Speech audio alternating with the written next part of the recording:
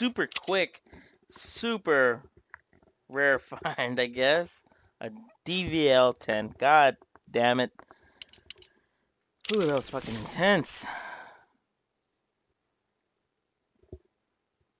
That shit. I think I'm gonna take this out for a spin. Hopefully the uh, magnification for this uh, scope works now. I mean, there's been several patches, but you know, can't be too sure. But fuck it, I'll take it out anyways with it.